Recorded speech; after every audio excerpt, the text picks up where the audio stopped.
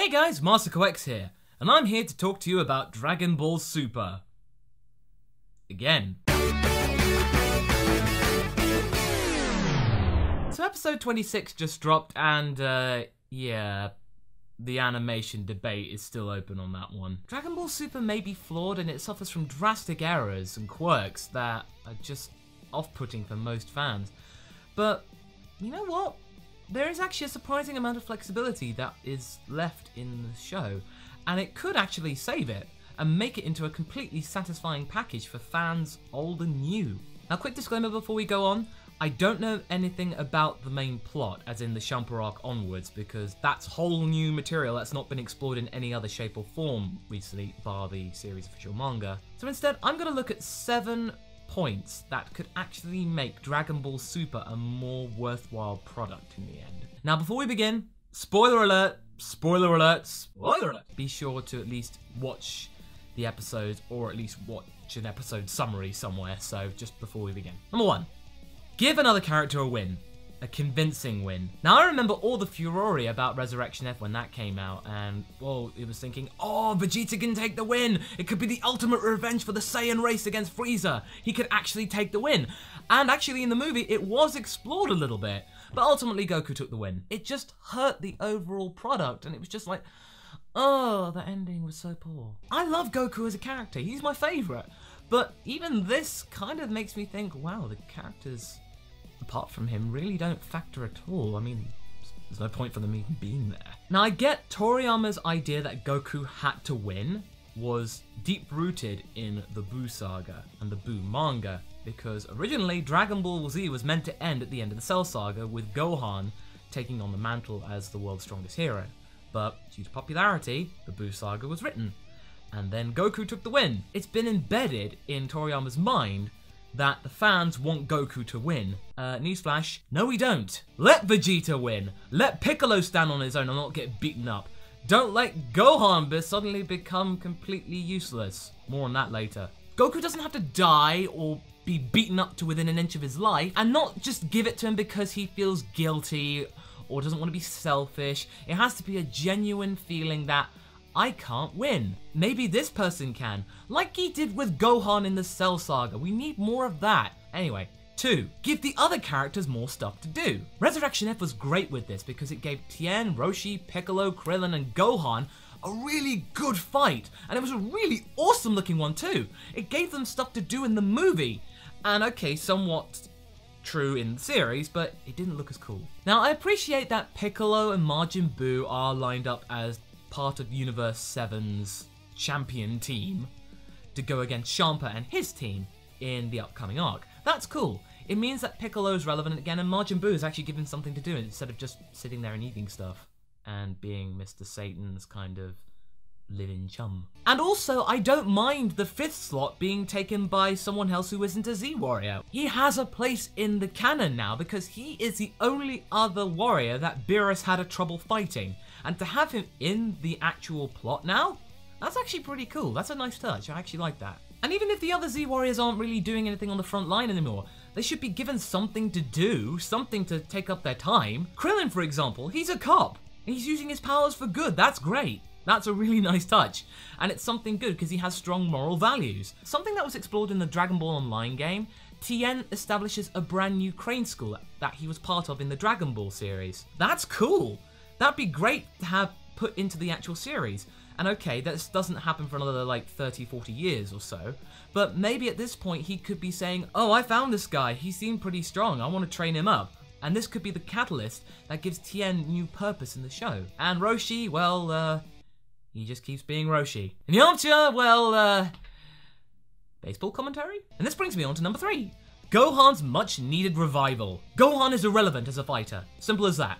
He is not strong enough to be able to put on a convincing fight. We're going from a character who was the strongest fighter in the universe at one point, with his ultimate form being bestowed upon him, being able to take down Super Buu potentially and save the day, to be barely able to hold Super Saiyan level 1 in the space of what, like 18 months? That's really striking. It's just confusing how he could lose all that power in such a short time. He was able to hold on to his full power Super Saiyan for three weeks during the Cell Saga, and okay, that was at the height of his training. But being able to be acclimatized to that power and not being able to take any energy whatsoever, he should be able to hold Super Saiyan level 1 without any difficulty. In this, he's barely able to hold it for about maybe a couple of minutes. And okay, he's not training to be a fighter anymore, he's a father and a scholar. His character is a scholar. He doesn't want to fight, but in the world he lives in, he has to realize that fighting is part of part of it. He has to accept that. This whole arc is maybe part of something quite great. Maybe he's reached that point where he's not strong enough and he realizes this and he actually gets scared. It's like, oh my god, what happens if there's another force that attacks the Earth and I'm not able to protect my family? What am I going to do? Also, he doesn't have to worry about shaming his family. In fact, I think Mr. Satan would be quite proud that his son-in-law was a fighter and a scholar, multi-talented. That'd be pretty awesome. It'd be great that he'd have a character arc which would mean that he'd regain his ultimate form. Maybe he could be training with Piccolo, because Piccolo seems to be just hanging around his house all the time, and Piccolo seems to have been training all this time as well. So, why not? Why not just have him come in and just train with Gohan after some studying time? It's not like Gohan isn't smart, he's probably one of the smartest people on the planet, so I think he can afford to do some training for a couple of hours a day. Number 4. Better animation, or at least more consistent animation. Now, animation takes money, time, and skill. A lot of skill. That seems to be something that Toei's failed to grasp, and it's really starting to give them a lot of pain especially online. Toei doesn't seem to understand the GCQ triangle or the creative triangle, as in there are three points to any kind of creative project. There is good, cheap, quick.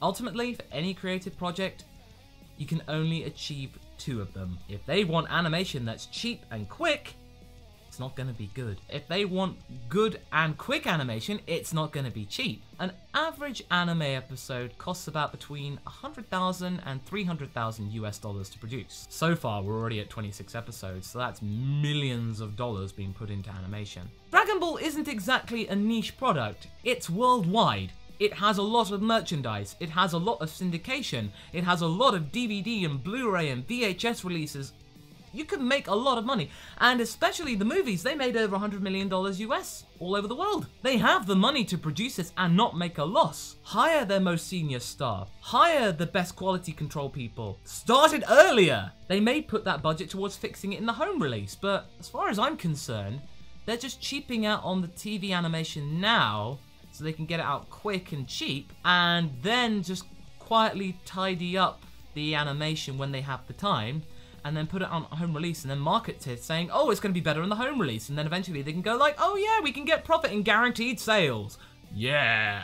That just strikes as a lack of confidence in its own product. It knows it's not going to be stellar in terms of storytelling, so it has to cheap out at the point of production on TV, and then maybe change it just in case if anybody notices. If they don't notice, so that okay, they can just leave it. Really, I would just settle for decent animation. It just has to suit the style. It has to just work with Toriyama's format and then complement it. That's all it has to do. Number 5. More filler-like comedy, please. Episodes 1, 2, and 14 prove to me how funny their filler can be. All those things peppered about the actual story arcs, so the actual canon, that was actually kind of scary, that the filler is better quality and funnier than the actual main plot. Can we just have some more of that type of madcap slapstick comedy put into the actual arcs going on from now? Please? 6. More peril and tension. There's just no tension. Flat out. There is just no tension. Quite honestly, we we know what's going to happen. These first two arcs, we just thought, okay, when's that going to happen? When are we going to get to that point? Okay, okay, that slightly changed, but oh no, it's going to ultimately change like that. Oh, there, there, there, that is. I've already seen that four times in the movie. We're just waiting for new content. And this is supposed to be new content. And we've had to wait seven months for this. Seven months. Not to mention, there's just no peril or global destruction or pain or misery and sorrow, like we saw in the history of Trunks and the Cell Saga and the Buu Saga. I mean, mass genocide? That was like, whoa. Okay, at least on Earth. I mean, Beerus has destroyed many planets up to this point in his arc, then, you know, that's lots of lives lost, but I felt disconnected. I didn't really feel like a, a sense of attachment or like pain or empathy. I didn't feel that. I felt just like away from all that. The first two arcs have also been really self-contained. They've either been taking place on a huge yacht or on a cliff face somewhere. And I know that Dragon Ball usually takes place in wastelands and stuff, but there's usually some collateral damage in a city before that. We're just left thinking, when is Goku going to press the win button? And this brings me on to my seventh point, which is, please explain Super Saiyan Blue. I mean it. Please explain. How did Goku and Vegeta learn Super Saiyan Blue? How? Now, okay, it may be too late to do it properly, like all these other epic transformations that we've seen, like Gohan going Super Saiyan 2 for the first time, Goku going Super Saiyan for the first time, and then Super Saiyan 3. I mean, that was just like, whoa. We need to at least find a point when they discovered this new power. A sense of frustration, or tapping into it purely by chance? Or at least just like a better exposition via a flashback. How did Vegeta get those powers? Did he become Super Saiyan God? Did he just learn it from Goku? Or did he become Super Saiyan Blue first? I mean, we just don't know. These questions are just left unanswered and probably will be left unanswered. We probably will never know. And that's really sad. So with that, that just about sums up my thoughts on how Dragon Ball Super can be made better with just seven simple tweaks. Did you agree with me? If so, leave a comment. If you didn't agree with me, also leave a comment. Don't forget to like the video and share and subscribe. And also just check me out on Twitter for any more updates. Anyway, thanks for listening to me rattle on about Super again. And until next time, guys, catch you later.